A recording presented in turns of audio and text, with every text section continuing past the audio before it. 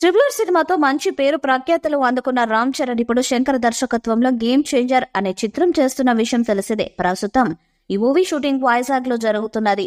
RK బీచ్లో ఐదు రోజుల పాటు కీలక షెడ్యూల్ని ప్లాన్ చేయగా అక్కడ పెద్ద పొలిటికల్ మీటింగ్ సెట్ని కూడా ఏర్పాటు చేశారు. ప్రస్తుతం అక్కడ షూటింగ్ని శరవేగంగా జరుపుతున్నారు. ఈ సినిమాని పొలిటికల్ యాక్షన్ థ్రిల్లర్గా శంకర్ తనదైన శైలిలో రూపొందిస్తున్నారు. అయితే ఈ సినిమా మొదలై చాలా రోజులే అవుతున్నా కూడా చిత్ర బృందం నుండి ఎలాంటి అప్డేట్స్ లేవు. కానీ లీకులు మాత్రం బాగానే వస్తున్నాయి.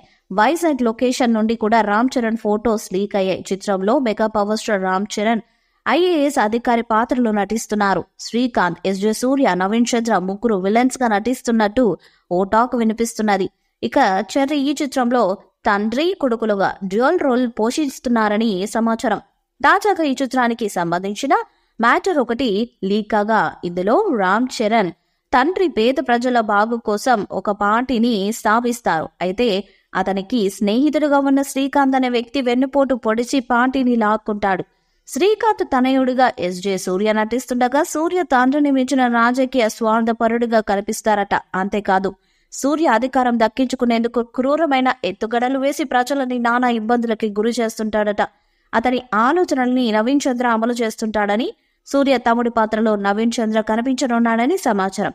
అయితే రామ్ నందన్ తండ్రిల పొలిటికల్ లీడర్ కాకుండా ఐఏఎస్ ఎందుకయ్యాడు? స్వార్థపరుల నుండి తన తండ్రి పార్టీని రక్షించాల వంటి అంశాలతో శంకర్ సినిమాని రూపొందిస్తున్నట్లు సమాచారం. స్క్రీన్ ప్లే మైండ్ బ్లోయింగ్గా ఉంటుందని యాక్షన్ ఎపిసోడ్స్ రోమాను నిక్కుబడుచుకునేలా చేస్తాయని అంటున్నారు చిత్రంలో కియారా అద్వానీ కథానాయికగా నటిస్తుండగా అంజలి జయరాం సునీల్ కీలక పాత్రలో నటిస్తున్నారు. ఈ ఏడాది అక్టోబర్ లేదా డిసెంబర్లో మూవీని రిలీజ్ చేసే అవకాశం ఉంది. గేమ్ చేంజర్ సినిమా నుండి రామ్ చరణ్ కియారా అద్వాని కొత్త లుక్స్ బయటకు వచ్చాయి ఎన్నికల కమిషనర్గా రామ్ చరణ్ ఉవర్ కూల్ లుక్లో అదిరిపోయారు.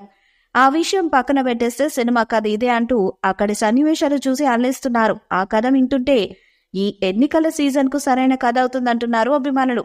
ఈసారి ఎన్నికలకు ముందు ఆ సినిమా వచ్చింటే బాగుండేది బాక్స్ ఆఫీస్ బద్దలైపోయేది అని కూడా చెప్తున్నారు. ముగ్గురు రాజకీయ విలన్స్ను ఆధారంగా ఈ సినిమా తీస్తున్నారట. శ్రీకాంత్ ఎస్జే సూర్య నవీన్ చంద్ర.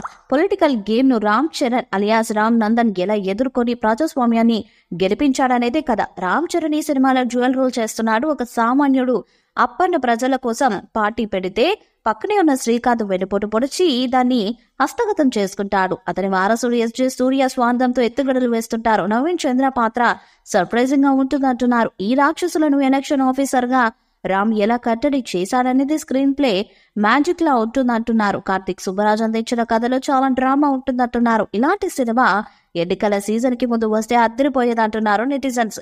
ఈ వీడియోపై మీ అభిప్రాయాన్ని కామెంట్ బాక్స్లో తెలియజేయండి ఈ వీడియో మీకు నచ్చితే లైక్ చేయండి షేర్ చేయండి కామెంట్ చేయండి. మరిన్ని అప్డేట్స్ కోసం మన ఛానల్ సబ్స్క్రైబ్ చేయండి. అలానే పక్కనే ఉన్న గంట సింబల్ గట్టిగా కొట్టండి.